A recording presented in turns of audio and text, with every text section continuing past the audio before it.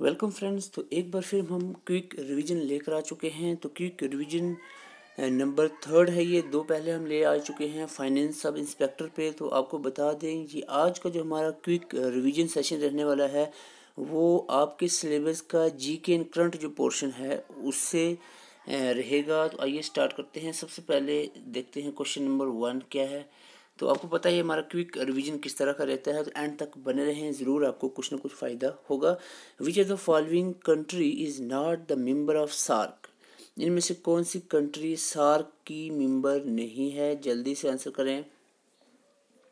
SAARC के members आपको याद होने चाहिए तो आप आंसर कर सकते हैं। तो आपको बता दूँ ए इसका राइट आंसर है, यानी म्यांमार जो है, ये सार्क कंट्री नहीं है, ठीक है? अब आपको सार्क के बारे में थोड़ी सी इंट्रोडक्शन दे देते हैं। ये आपको पता होना चाहिए कि सार्क की फुल फॉर्म क्या है। South Asian association for regional cooperation ठीक है? South Asian association for regional cooperation और एस्टेब्लिश कब हुई थी सार्क? सार्क हुई थी एस्टेब्लिश आठ अक्टूबर को। आठ सॉरी आठ दिसंबर उन्नीस सौ पचासी में इस्टेब्लिश हुई थी सार्क और सार्क की जो स्टेट्स मेंबर हैं वो हैं आपकी सॉरी स्टेट्स हो, वो यहाँ कंट्रीज़ की बात करें तो जो कंट्रीज़ हैं ये आठ कंट्रीज़ सार्क के अंदर आती हैं मालदीव बांग्लादेश तो ये आपको ट्रिक के साथ याद रखनी चाहिए। जैसे एक ट्रिक यहाँ पर है M B B S pen P A I N pen तो M B B S pen करके ट्रिक है आपको यहाँ से, ये याद रखनी जैसे कि एम बी बी एस ठीक है, Maldives, Bangladesh, Bhutan, Sri Lanka P A I N Pakistan, Afghanistan, India, Nepal. तो ये आठ कंट्रीज़ हैं, सार्क की तो आपको याद रखनी है, और हेड क्वार्टर कथमांडू नेपाल में है ओके हेड का नाम जो है, ये लंबा सा नाम है, ये आपको याद रखना श्रीलंका का है, जो हेड ऑफ़ दिस सार्क है इन दिस ईयर ऑब्जेक्टिव क्या है, SAARC? To promote the welfare of people of south Asia and to improve their quality of life तो सार्क के बारे में हो गया, आइए आगे चलते हैं question number two is very important for this sub inspector finance exam who won the Nobel prize twenty twenty one for medicine medicine में नोबल प्राइज़ 2021 में किन को मिला है? जल्दी से आंसर करें। तो नोबल प्राइज़ 2021 में मेडिसिन में जो है वो एड्रम Patapoutian and David Julius को मिला है। दो आदमी को मिला है मेडिसिन के अंदर। तो वो ये है, ठीक है? तो 2021 का जो नोबल प्राइज़ हैं, ये आपको याद रखनी चाहिए कि किन किन को ये मिले हैं। तो आपको यहाँ पर बता दें फिशियोलॉजी यानी मेडिसिन में डेविड जूलियस एंड्रम पैटर पोटेन जो अभी क्वेश्चन था, मिला है। फिज़िक्स में तीन आदमी को मिला है, तीनों के नाम आप याद रख सकते हैं, ठीक है? और केमिस्ट्री में मिला है दो आदमी को जो आपके सामने हैं Benjamin Liszt and David Macklin और लिटरेचर की बात करें तो अब्दुल रज़ाक गुरनाह को मिला है लिटरेचर के अंदर। और पीस में ये बड़ा इंपॉर्टेंट है पीस पे। तो मेरिया रेसा एंड डिमिट्री मोटराव को मिला है पीस के अंदर।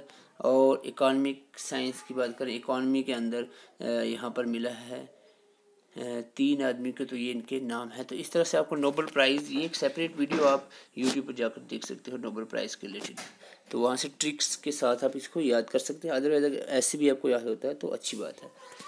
अगर हम चलते हैं क्वेश्चन नंबर थर्ड पे what does the nineteen in the COVID nineteen refers to बहुत सिंपल क्वेश्चन है ऐसा नो कल आपको ये आया है ना? तो कोविड नाइन्टीन में नाइनटीन का मतलब होता है, यहाँ पर क्या? कि ये जो वायरस है ये जो कोरोना वायरस एंड डिज़ीज़ है इट इज़ काज आइडेंटिफाइड दो हज़ार उन्नीस, ये दो हज़ार उन्नीस में आइडेंटिफाइड हुई थी पहले, इसीलिए इसको कोविड नाइन्टीन कहते हैं, ठीक है? कोरोना वायरस डिज़ीज़ नाइनटीन इसलिए क्योंकि दो हज़ार नाइनटीन में हुई।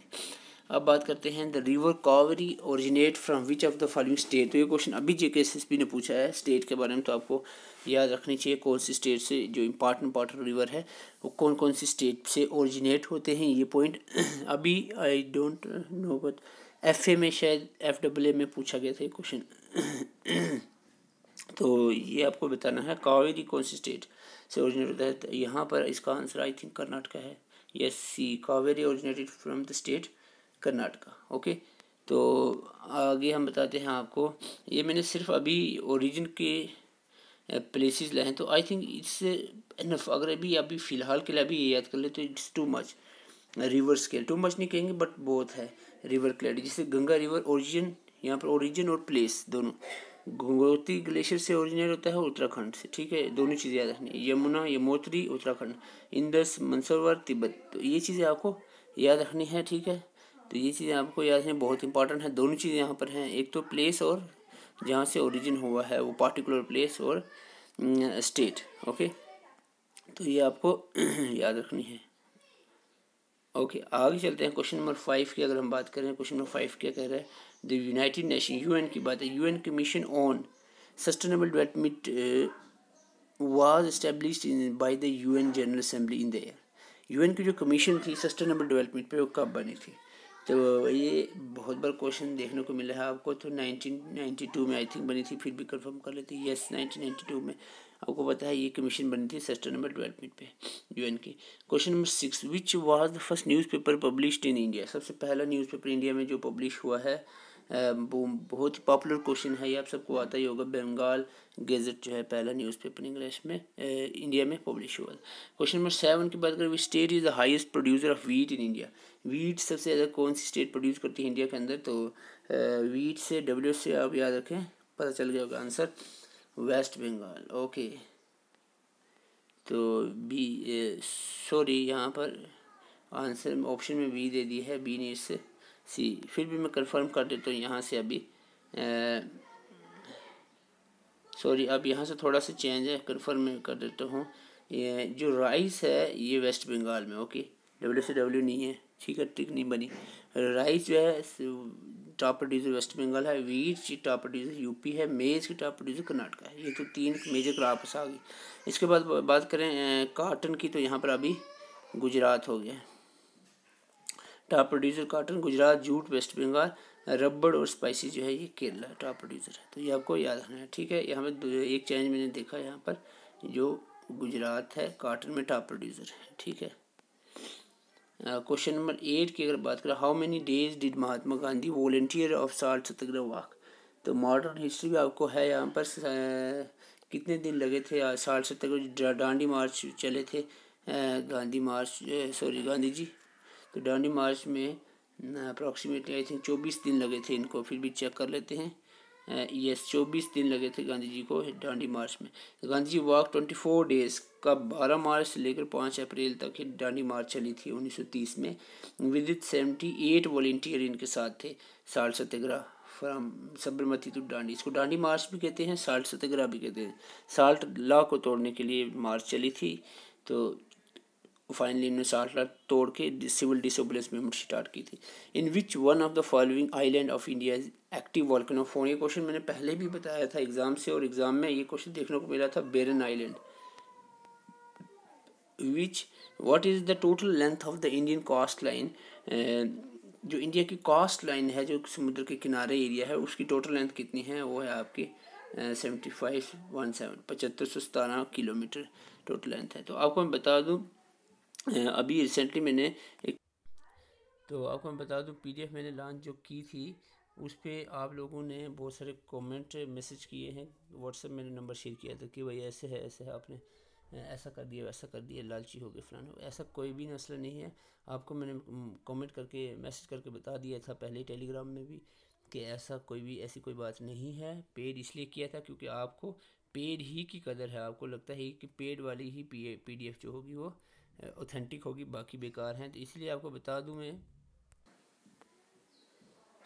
तो आपको बता दूँ, यहाँ पर आपके लिए मैं फिर से ई बुक लेकर आ चुका हूँ। अगर आपको पैसे देने में कोई परेशानी आ रही है, आपको लग रहा है, भाई, आपके पैसे से मैं अमीर हो जाऊँगा तो आप पैसे के बिना को मैसेज कर सकते तो आपको पीडीएफ मिल जाएगी। लेकिन वो लोग जो ऐसे बिल्कुल कदर नहीं करते किसी कंटेंट की तो उनके लिए मैंने ये रखा हुआ है। तो आप जो है मैसेज करके व्हाट्सएप तो ये पीडीएफ ले सकते हैं। Just only twenty nine rupees pay करके यहाँ पर आपको ये प्रोवाइड की जाएगी। ठीक है, ट्वेंटी नाइन रुपीज़ में।